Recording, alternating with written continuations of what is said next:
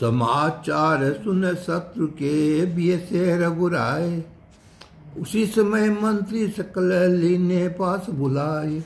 जामवंत हनुमंत बट अंगद द्विद महेंद्र। सेनापति नल नील से कहा सचिदानंद। लंका के चार दुआरे हैं, कैसे उन पर चढ़ना होगा? उस महादुष्ट दस्कंदर से किस तरह कहो लड़ना होगा? सुग्रीव विभीषण हनुमंत सबने मिल एक विचार किया। जो कटक बाँध रही सेना थी उस बल को इससे चार किया। ये लंका गढ़ दुर्ग कठिन, यद्यपि ये सब कभी जानते थे। फिर प्रताप से रघुबर के मन में कुछ भय नहीं मानते थे। अब बारू बाजे बजने लगे, लंका में भारी शोर हुआ। इस तरफ़ शोर कभी बालुओं का, असुरों का ज़ोर उस तरफ़ हुआ। खिंच गई करोड़ों तलवारें तन गए, हज़ारों ही भाले कहीं खड़क उठे कहीं गदा छुटे कहीं चले धनुष तीरों वाले। जो प्रबल पवन के चलते ही बादल पर उड़ जाते हैं क्यों ही बादलों से डरकर लंका की ओर को जाते हैं। हाहाकार मचने लगा, रो वही बालक नारी, कोस शब्द शीश को बारंबार पुकार। जब निश्चरण में ऐसे भागे, तब रावण को गुस्सा आया, फिर बुला के फ़ौरन असुरों को इस तरह से उसने फरमाया, संग्राम में निश्चय हटत है, कर इतना अब सुन पाऊँगा, जिन बिन बूझे उनको उसी समय तलवार से मार गिराऊँगा। सुनकर रावण के वचन भरना हृदय में जान, धाये का फिर कभी कटक में है, सुबट असुर बलवान। अब तो मरमुख दल सूल पर बच्चों को असुर चलाने लगे। तब उन शस्त्रों के चलने से बानर बालू अकलाने लगे। पश्चिम द्वार रहा, कपाट पर खड़े वीर हनुमान। लड़ता था इनसे वहाँ, मेघनाथ बलवान। हनुमत ने देखा घबरा कर सब बानगर भाग ले जाते हैं। वो प्रबल काल सम गर्भ तर्ज को तो कपना दिखलाते हैं। अब किले पे ये भी जा पहुँचे और पर्वत एक उखाड़ लिया। गुस्सा खाकर किलकार मार, रघुनाथ के रथ पर डाल दिया। भारी पहाड़ के गिरते ही रथ मेघनाथ का टूट गया। मूर्छित तो सारे अश्व गिरे सारथी कतन भी छूट गया। तब मेघनाथ की छाती में अनुमत ने मारी लात भी। गिर गया विकल हो पृथ्वी पर हुआ ही मूर्छा अधिक तभी। फिर मेघनाथ के लिए एक अलंका नगरी रथ आया। उस रथ के डाल के असुरों ने गन्नाथ को लंका पहुँचाया। असुरों के ऊपर क्रोधित तो कटकटात रहा, है किस भली फिर भाई के ऐसे बांद्र बालों ने निश्चरों की सेना भाग चली। भागते थे निश्चल लंका को ये हनुमान अंग तकते थे, तब पकड़ पकड़ कर असुरों को सागर में उन्हें पटकते थे। कपियों के आधे असुर दिए जिस समय मार, रावण सुनकर में करने लगा विचार। नीति भरी बोला बचन, मालवंत सिरनाय रावण प्रभु के सामने कुछ नहीं पार बसाए जो जान बूझ कर उनसे आप नाक ही रार बढ़ाते हैं सीता रबर को देख करके झगड़ा क्यों नहीं मिटाते हैं? मालवंत के वचन सुने, वाद सन लाल, मंत्री को ललकार कर, बोला वचन कराल, ओ मुड निकल जा, यहाँ से तू, मुझको अब मुँह मत दिखलाना। छोड़ा सट मुठ बुढ़ा जान तुझे, बस और किसी को बहकाना। रावण के ये वचन सुने, सचिव चला घबराई।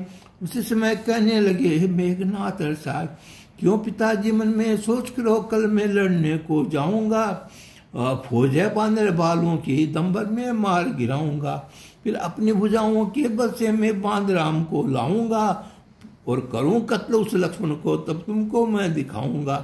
तरह कहता रहा वाक्त भी मिसार कपि बालों ने लंक पे घेरे चारों द्वार। मेघनाथ ने की उतरे करी फौज तैयार। शस्त्र बदन पर बाँध कर रथ में हुआ सवार। वादलों का सामना रणभूमि में जाय। मेघनाथ कहने लगा, क्रोधवंत किसी का जब क्रोध में भर कर मेघनाथ वो तीव्र बाण बरसाने लगा, उन कठिन छरों के लगते ही बांदरों का दल लाने लगा।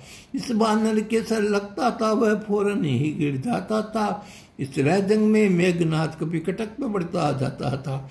व्याकुल हो भागे बालू कपि आसरा युद्ध का छोड़ दिया। उस मेघनाथ के होदा से वीरों का हौसला तोड़ दिया। लक्ष्मण जी ने प्रभु को आए बताया नवाया मात जाऊँ असुर को मारने, आज्ञा दो रघुनाथ। कहा तभी रघुनाथ ने, जाओ लखन तुरंत। रक्षा पर है आपकी महाबली हनुमंत।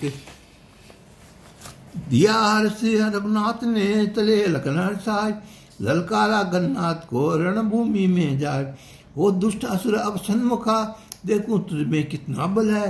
इस हुनर को मैं देख सकता हूँ। कितना है ज़ोर, कितना छल है।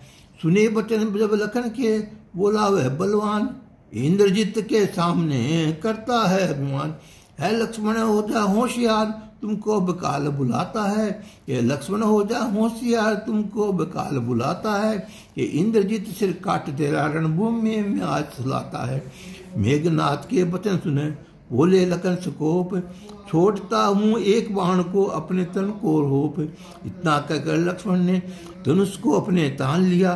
में उसके जो मारा तीक्ष्ण बाण किया। लगते ही बाण टूट गया सारथी गिरकर घबराया। मर्दांगनी देखी, लक्ष्मण की तो निश्चय को गुस्सा आया। फिर बिड़े लखन और मेघनाथ दोनों ने रणति घोर हुआ। एक से एक जीता न जा, घंटों तक भारी शोर हुआ।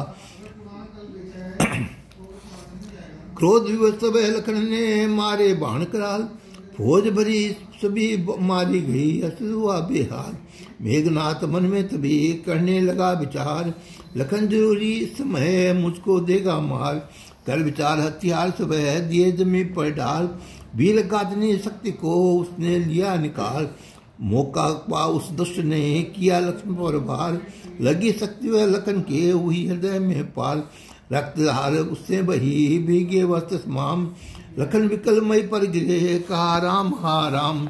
उनके गिरते ही दौड़ दौड़, गोदालंग योदालंका से आने लगे। रावण के पास ले जाने को लक्ष्मण को से उठाने लगे। मेघनाथ समकोट बली, सब मिलकर ज़ोर लगाते थे। वो उठे न से साधार तब सब हार मान कर जाते थे। उस समय हनुमान जी लखन पास गए आए। देखा दशा व्याकुल हे, मुँह से निकली हाय। सोचते रोते खड़े, दिल में अधिक मलाल। उठा लखन को गोद में चले अंजनी लाल। देख लखन की सकल प्रभु व्याकुल हुए अपार। बानर दल में मच गया दारुण हाहाकार। सर गोद में रखता लक्ष्मण का निज करके से मुख साफ़ किया। भाई के गम को रो रो कर रघुवर ने महाविलाप किया। हे भाई लखन, क्या हुआ तुझे? जो इतने खामोश हुए, कुछ खबर न अपने तन किए पल में ऐसे बेहोश हुए। आज्ञा मांगी थी मुझसे थे मेघनाथ से लड़ने जाता हूँ। ये स्वामी, कुछ मत फ़िक्र करो, मैं अभी मार कर आता हूँ। मुझको तो ये किन हुआ, यही मेघनाथ का नाम मिटाएगा। ये खबर नहीं कुछ पल में थी, भाई मूर्छित हो जाएगा। इधर हो रहे भालुक भी उधर श्री रघुनाथ, उसी समय कहने लगा जामवंत सिरनाथ सुनते हैं कोई सुखेन नाम, एक वेद्य लंक में रहता है। है मूल औषधि, उसके पास मूर्छा की जड़ी भी देता है। ये समझ में, स्वामी लंका में कोई रूप रूप विचवा दीजिए हे नाथ विद्या को बुलवा करके लक्ष्मण की नबज दिखा दीजिए। जामंत के वचन सुने, बंदा जरा कुछ धीर, आगे आए उसी समय पवन पुत्र बलबीर, बस।